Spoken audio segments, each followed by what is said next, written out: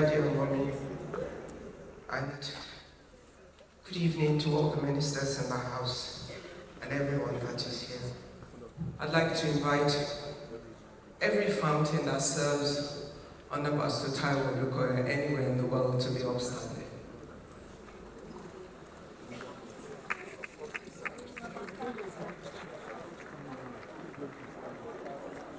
You know, it's um, it's difficult to talk about a man that is so simple, so open, so easy to read, because everybody is going to say the same thing.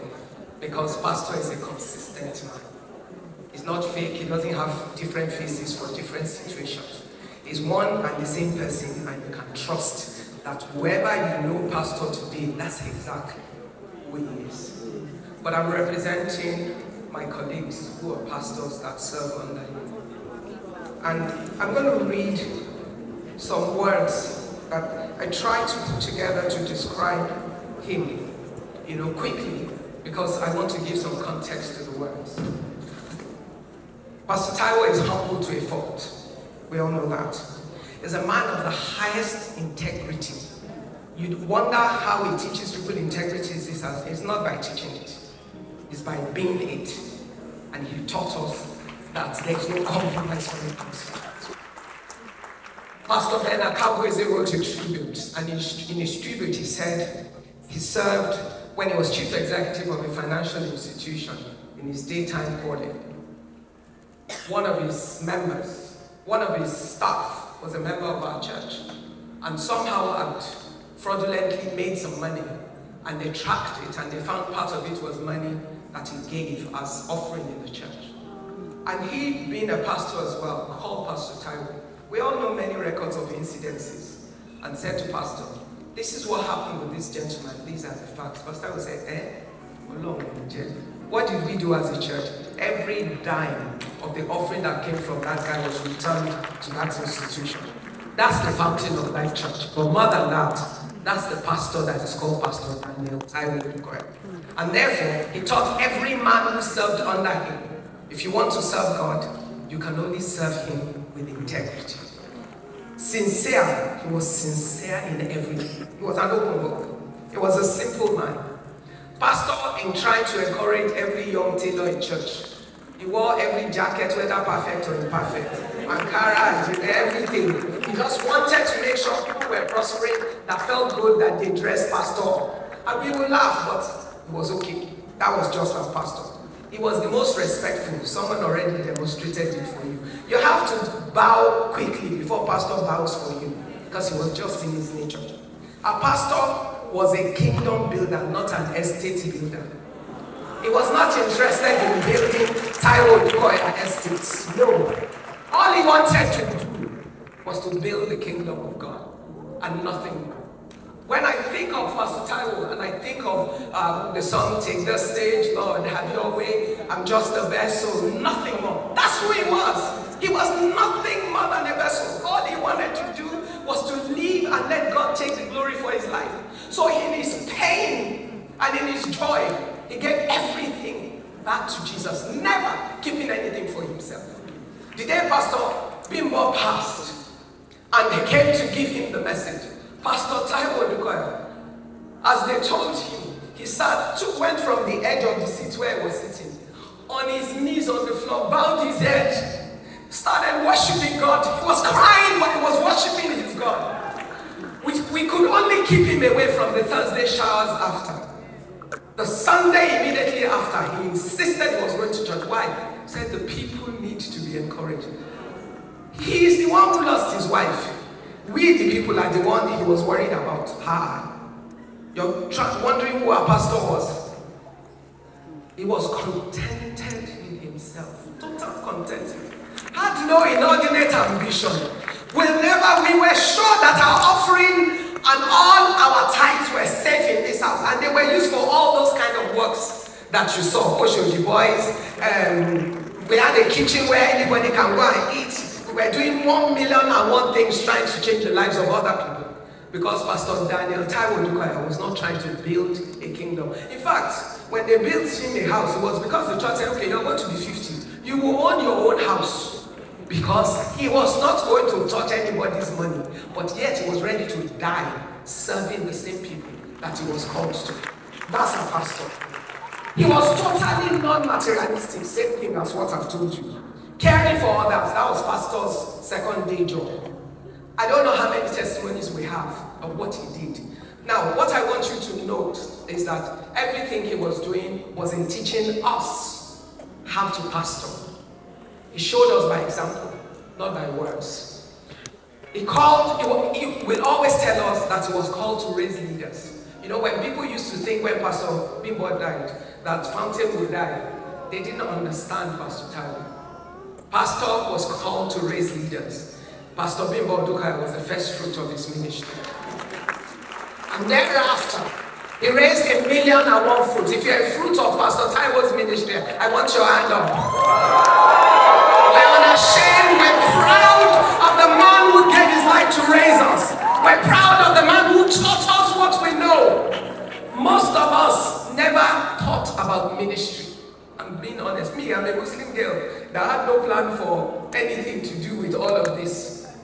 But just from going to the fellowship that they were having before starting the church, one day pastor walked in and said, you, the Lord said you will head the business fellowship. I'm looking at the man, head which business fellowship? In the church that has not even started. But did I not head that business fellowship for many years? Did I not gain from it and did my business not get built up because I was serving in a ministry that was called to that? Like someone said, he was a seer.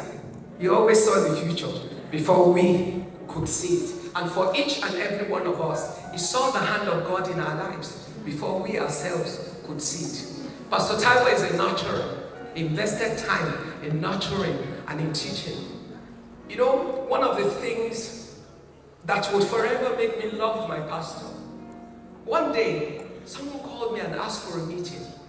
Why? He said, how can you run a ministry as big as Christian Missionary Fund and be a serving pastor in a church? I didn't understand because that was the only thing I knew. The only way I knew was the way of my pastor. I didn't know that it was an abnormality that in some other churches you could not have a ministry that seemed wasn't competing, but in some churches either the ministry comes under the church or you shut down the ministry. I didn't even understand what the call was.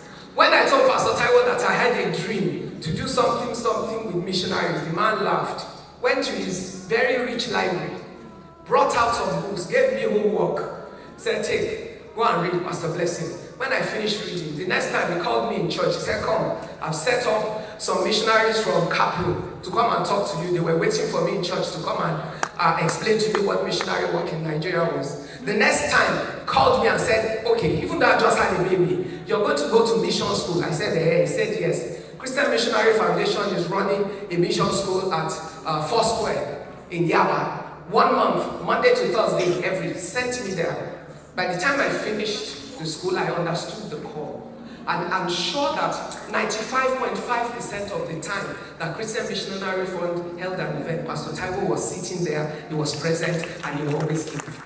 I'm just saying he's a, he's a natural. He nurtures, he does not just encourage you, he nurtures the vision in all of our hearts. When he sends you forth, he sends you, backing you up every step of the way. Let me tell you one most unusual thing about my pastor.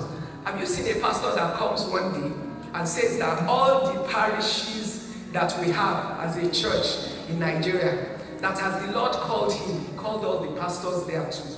That so on that day, even though Fountain had invested in the setup of all of those churches across the country, he released all of them, said, everything invested in your church, I give you.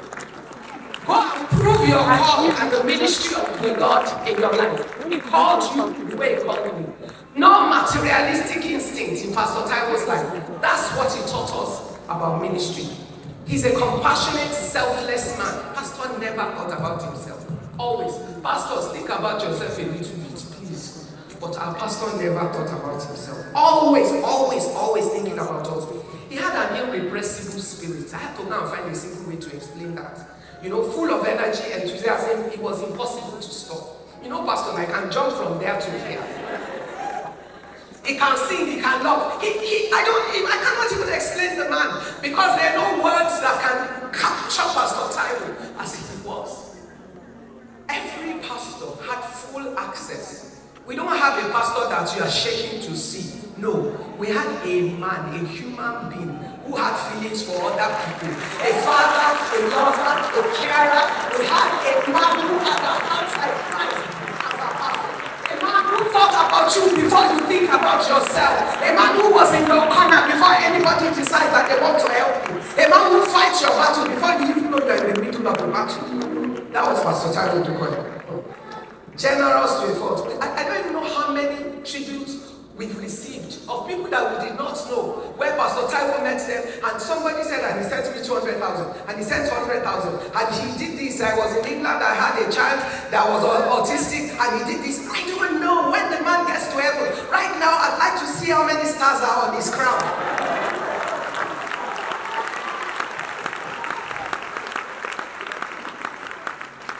You know, there's a song. Are you there? Okay, there's a song that I just want to say the words so that you can understand. But it, there's just, okay, you know what, just because I want to pity Pastor, I want everybody to get up and just, if you're a fountainer, get up and just say the chorus of this song. The choir is going to sing the song you feel later.